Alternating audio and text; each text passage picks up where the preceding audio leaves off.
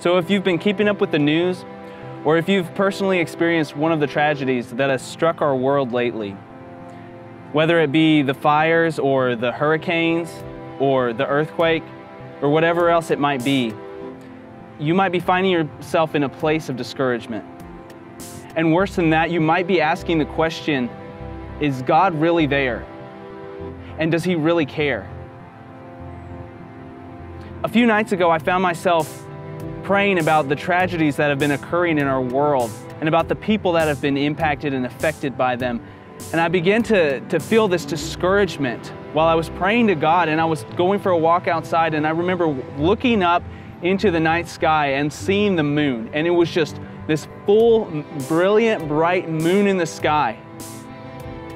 And I was reminded of that verse in Genesis where it talks about God giving the moon as the governing light for the night and the sun to govern the day. And I remember looking up and thinking about the fact that the moon, on regular occasions, you can see the moon at night. And every day, if you look up in the sky, the sun is going to be there. And I remember thinking, God made the moon and the sun, and yet He governs both.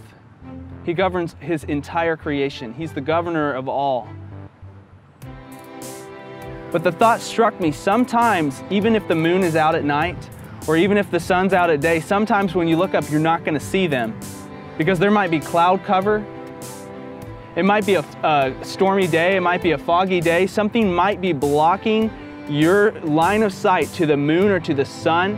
And I think the same thing happens with God. Just because you're in the middle of a crisis and you can't necessarily see God does not mean He's not there. Jehoshaphat in the Bible was this Israelite king who at one point in time had all these armies coming up against him. And it was this impossible situation. It was a crisis that he was facing because there was no way that they could possibly win. And yet what he did was because he was seeking after God, because he had made God his priority in the moment of crisis, the prayer that he prayed to God was, God, we have set our eyes upon you. That's amazing to me. And I truly believe that's the same thing that God desires when we're in a moment of crisis. When the world looks like it is in a state of crisis, God desires us to set our eyes on Him. And then I think about Peter in the boat and Jesus walking on the water, and Peter calling out to Jesus and saying, Lord, let me come out to you on the water. And once he steps out and once he's walking towards Jesus, he begins to take his eyes off of his Lord and he begins to look at these huge waves and suddenly he begins to sink. And I'm just reminded of the fact that if we would keep our eyes on God, even in the middle of the storm, nothing would be able to sink us. And I know there's some people out there who have said these, these tragedies and these events that have happened are the wrath of God.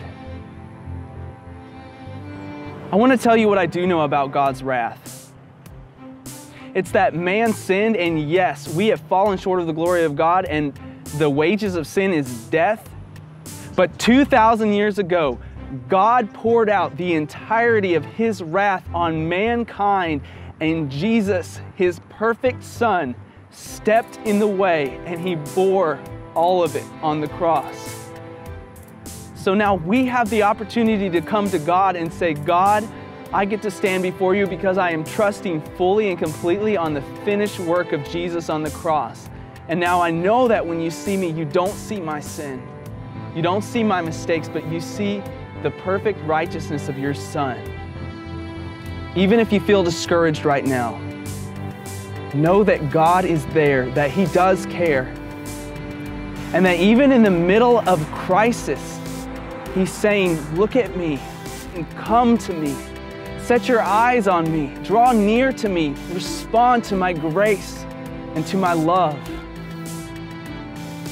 When we're listening to the voice of God and we're responding to Him, we're way better equipped to respond to crisis.